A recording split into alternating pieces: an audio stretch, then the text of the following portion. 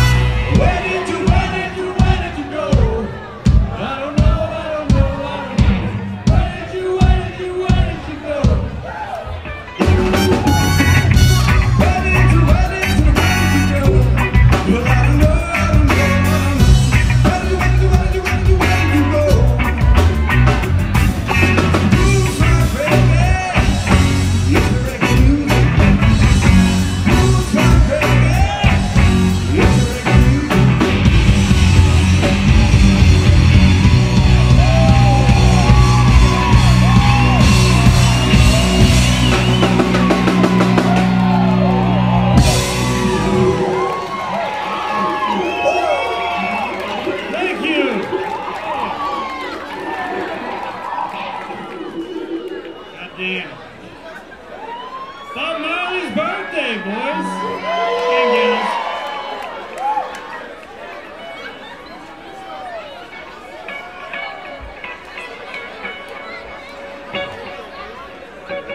I wrote this song last week. I wrote this song about uh, my dad. Um, my dad was a long haul truck driver, always gone a lot, and uh, you know, he's just got a friend who's always on the road a lot with his kids, and you just hope that you make your dad proud, you know.